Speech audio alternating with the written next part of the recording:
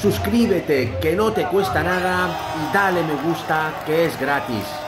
Buenas amigos culés, ¿qué tal estamos? Voy a empezar este vídeo hablando de la presentación de Arda Güler hoy en Madrid, junto con, con Florentino.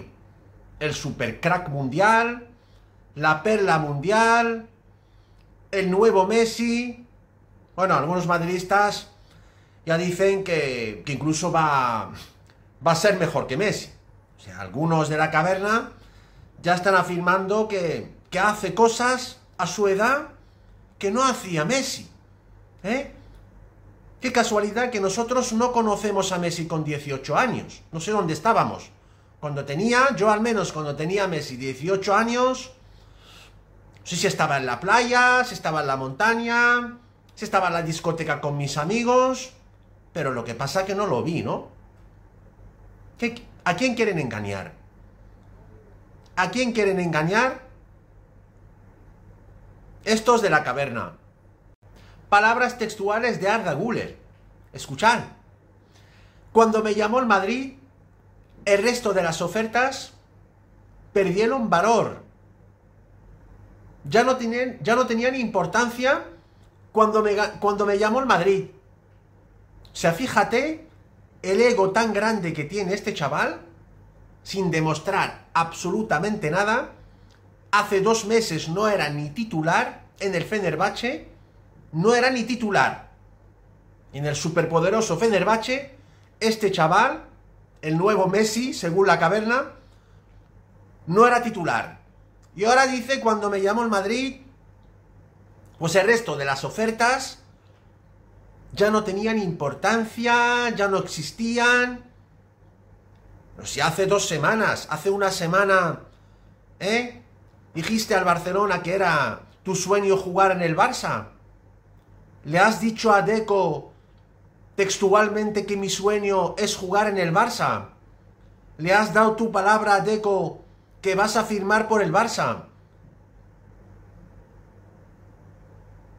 Que admiras a Messi, que el ídolo, que el ídolo tuyo es Messi y que quieres jugar en el, en el equipo donde triunfó Messi.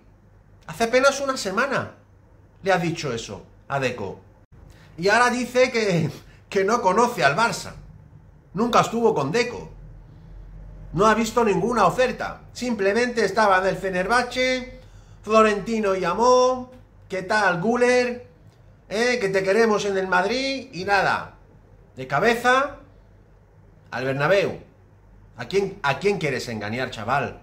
¿A quién quieres engañar? Tú has elegido Real Madrid porque te pagaba 3 millones más de la ficha que acordaste con el Barça. Tú has elegido al Madrid porque Florentino ha dado prima a tu padre, a tu madre, a tu prima y a tu representante, etc. Por eso has elegido al Madrid. Y por eso mandaste al garete el contrato verbal que tenías acordado con el Barça. Por esta razón. ¿Quién? ¿Nos quieres vender la moto, Arda Güler? No nos vas a vender la moto a nosotros los culés, ¿eh? No nos venden la... Curiosamente, los culés son los más difíciles de venderles la moto. Es así de simple. ¿No, no? Y encima la rueda de presentación, ¿eh? el chaval con sus santos... Mmm, ¿eh? Dorsal 27, no me voy a ir cedido. o sea, está diciendo que no va a ir cedido y que va a jugar y que Ancelotti le ha dado su palabra de que va a ser titular y tal. Y... Yo creo que, vamos, este chaval está flipando. Sinceramente, este, este chaval está flipando.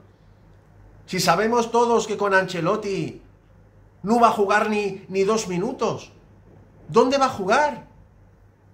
¿Dónde va a jugar este chaval? ¿Eh? Que por cierto engañó al Barça. Este chaval engañó al Barça ¿eh? y su representante también, y su padre también. Han engañado al Barça. Pero bueno, yo, yo no estoy dolido, ni los culés tampoco estamos dolidos. ¿eh? Porque simplemente el que duda o, quien engaña al Barça no merece este escudo. No merece llevar este escudo en el corazón. No lo merece. Y ahora dice que no va a ir cedido. Que va a jugar en el Madrid. Que está seguro que va a triunfar en el Madrid.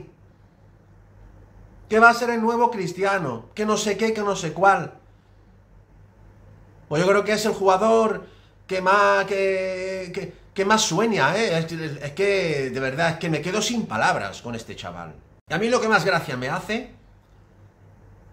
es que el mejor ojeador del Madrid es el Barça. Con tanto dinero que tiene Florentino, con tanto dinero que tiene la caverna, el club más saneado, el que mejor ha gestionado eh, la, crisis del COVID, el que no sé qué, el que no sé cuál, y no contrata ojeadores. Tiene que esperar al Barça que vaya por un jugador para que ellos vengan corriendo detrás, le pagan más y se lo llevan. ¿Cómo les duele todavía la clavada de Neymar? No, ahora resulta que Neymar Ahora resulta que Neymar, que no fichó por el Madrid porque no quiso, no quiso pagar 170 mm, millones por él. Por eso no quiso fichar. Qué curioso, ¿no? Y por Mbappé sí que, quieren pagar 250 millones. ¿Eh? Qué curioso que el Madrid no, no llegó a esas cifras con Neymar, pero con Mbappé sí, 250 millones y les ha dado calabazas tres veces seguidas. Tres veces seguidas que Kylian Mbappé. Calabazas a la caverna y al Madrid. Y a Florentino también. ¿A quién quieren engañar? ¿A quién? Si pensáis que esto es todo, vais a flipar ahora. Florentino quiere robarle a otro crack al Barcelona. Una fuente deportiva muy importante acaba de asegurar que en el caso de que don, don Florentino no pueda fichar a Mbappé esta temporada, en el caso de que reciban otra calabaza de Mbappé, van a ir a por Vitor Roque. Quieren quitarnos a Vitor Roque ahora. Porque según esa fuente, Florentino lo ve como, como un gran delantero y que puede ser uno de los mejores, si no el mejor. Y quiere ir a por él. Ya está pensando seriamente en robarnos a Vitor Roque.